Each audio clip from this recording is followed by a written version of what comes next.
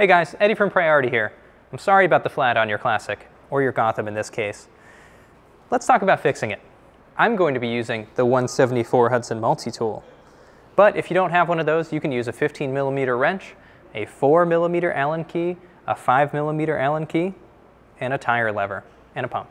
Please note, we recommend that any repairs that are done on your bike be done by a professional mechanic.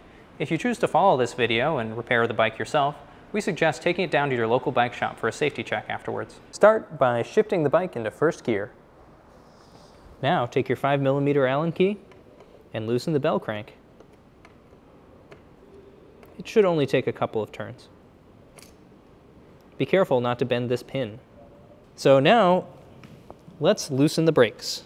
To open the brakes on the bike, move the dust cover out of the way, and then with one hand push one side of the caliper in and pull the noodle.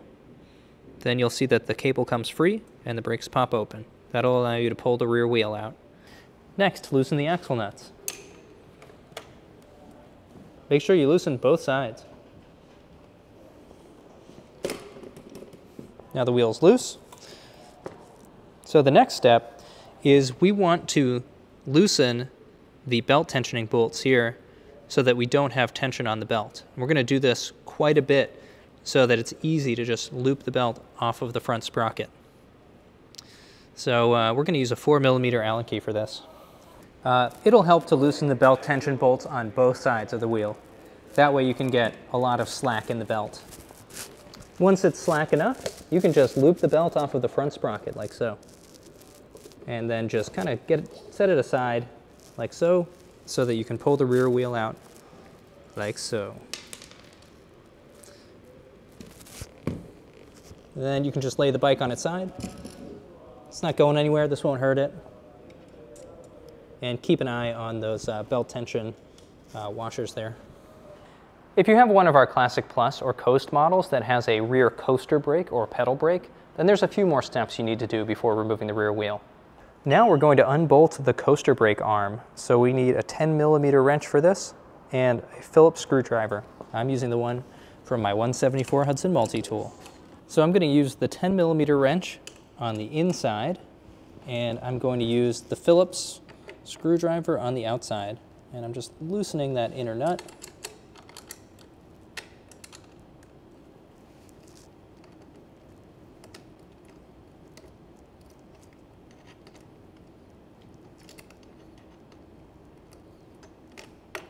And we will have to completely remove this in order to do the flat, just to get the wheel all the way off.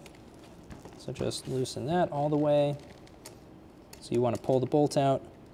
And uh, I think you'll see that there's a little spacer in here that's kind of wedged in place, but that'll pop out when we loosen the rear wheel, which I'll do right now. Make sure you loosen both sides.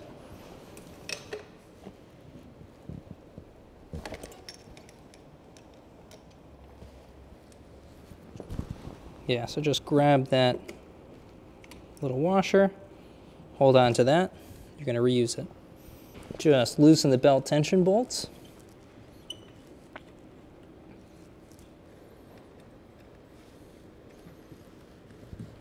And just slip the belt off of the sprockets and out of the way of the rear wheel. And just remove the rear wheel. Now that the wheel's off the bike, let the rest of the air out of the tire if there's a little left. It's going to be easiest to take off the rim when it's completely flat. I'm just using the 4 millimeter Allen key end on here to push the pin in the valve in. So now that that tire is nice and flat, you just kind of want to grab it with your hands and just get it as loose as possible uh, in one section. So what I'm doing is I'm just kind of pulling on the tire to expose the bead. This is the bead of the tire right here. And that's what you're going to aim for with your multi-tool. This is the tire lever end of the tool, and that's the part that hooks under the bead and allows you to pry that bead over the edge of the rim. So you're going to just pry one bead at a time, get it right over the outside, and then pull. And that'll allow you to pull the bead from the inside of the rim to the outside of the rim.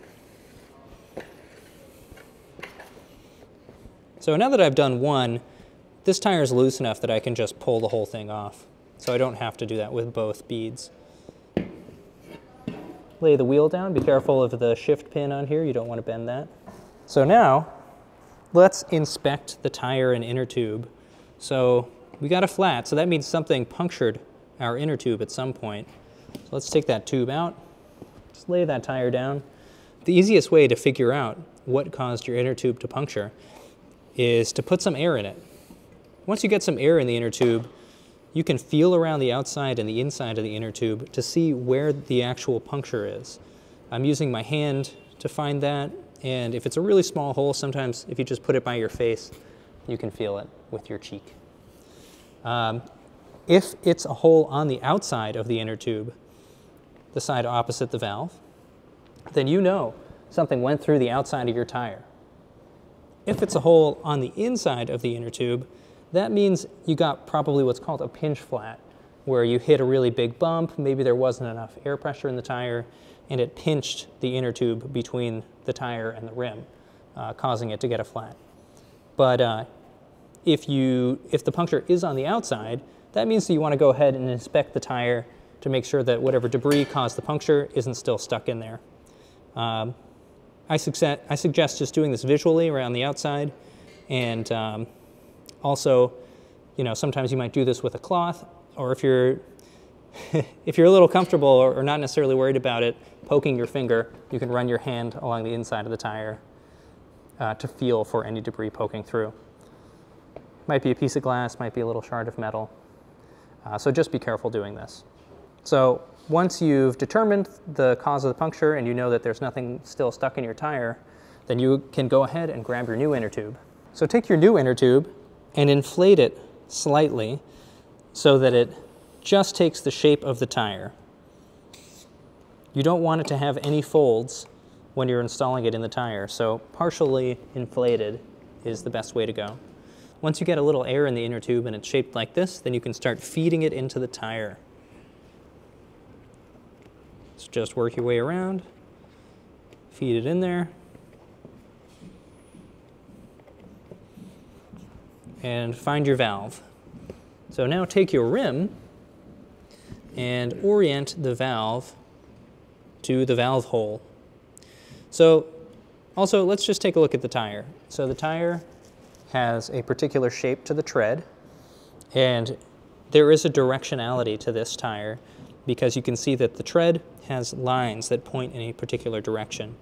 You can kind of think of these as an arrow.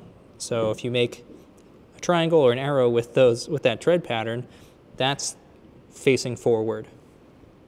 So then just take your wheel, and we know that your drive sprocket here is on the right side of the bike. So let's aim the tire forward, put that on the right, and we know that everything's aligned properly. So let's just grab the valve then and feed it through the valve hole. And now I'm just using both hands to grab the tire and the rim at the same time and just kind of squeeze the tire into place. So when I have the wheel and the tire like this and I'm starting to seat the bead onto the rim channel, I'm just feeding the tire into place, starting from the valve and working my way to the opposite side until I get to the very end and it just pops over the edge.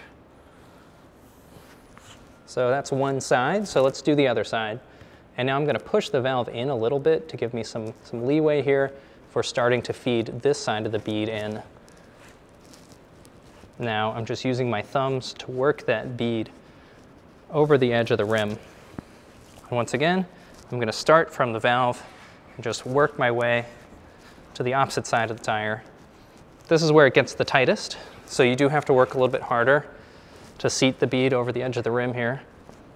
But just take your two thumbs together and then just work it over. So once you get to this position, it might feel like it takes a lot more effort to get it here, but there is a trick to loosening the tire to help you get that over. So I'm just gonna take my thumb and just kind of work that tire in a little bit more all the way along the edge, and that'll give me some looseness to get that last part in.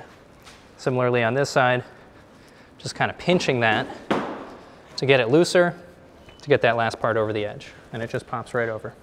So now just take your pump and your tire, and you want to push the head of the pump firmly onto the valve and then lock it in place with the lever.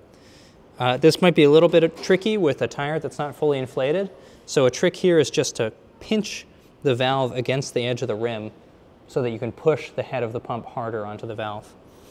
Now that it's locked on there nice and tight, just pump away.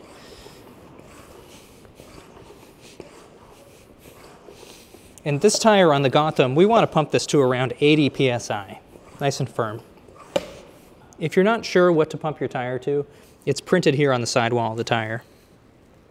And they give you a range. So the minimum on this is 50. The max is 85. So we usually recommend towards the higher end of the range to prevent punctures like this. So uh, I usually recommend around 80. All right, put your valve cap back on, and now we're ready to reinstall the wheel. So grab the wheel and pick your bike up, and then just slide the axle right into the dropouts, like so. Should just slide right in. If your bike has a coaster brake, just hold the frame in the wheel like so. Slide it into the dropouts so that your yellow washer's facing backwards. So now I'm just going to loosely install the uh, coaster brake arm bolt. So just grab your washer, your bolt, and just feed the bolt in enough, just enough so that it holds that washer in place. Now move the coaster brake arm so that it aligns with the bolt. Just push the bolt through the coaster brake arm. Now there's a washer that goes on the outside of that, and then the nut on the other side.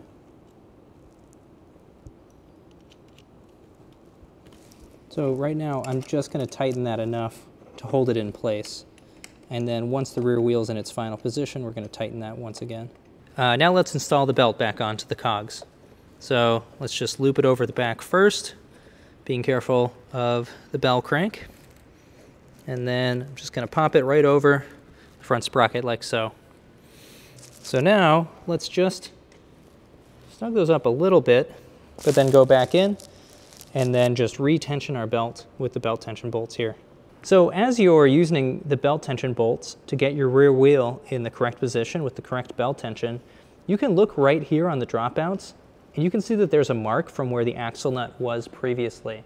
So you can use that as a guideline to get generally where the rear wheel should end up.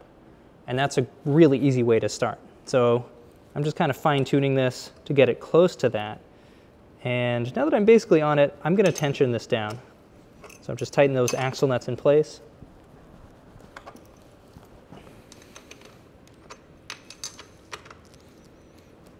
If your bike has a coaster brake, you can go ahead and then just tighten up that coaster brake arm bolt.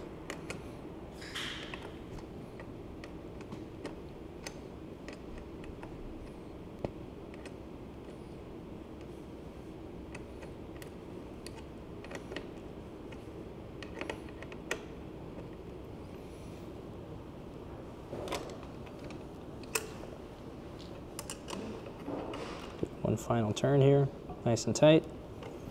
Good to go. Now just reinstall the bell crank.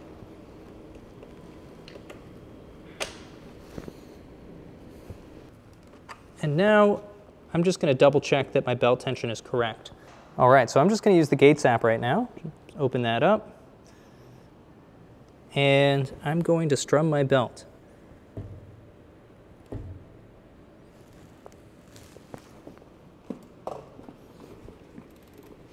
We want to do a couple different positions here.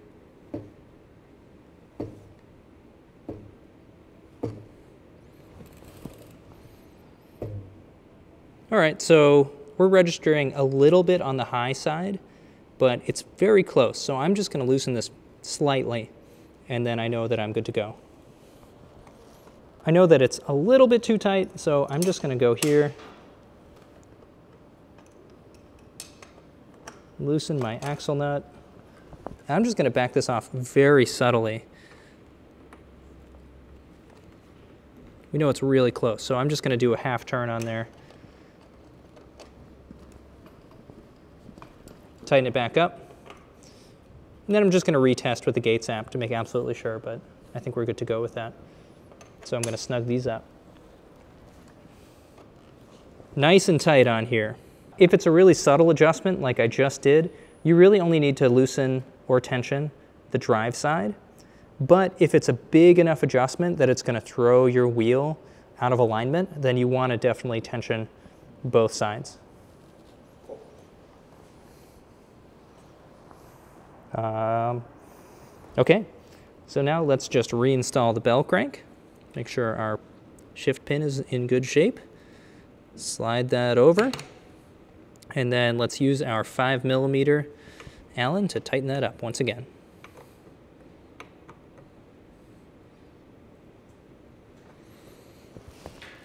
And uh,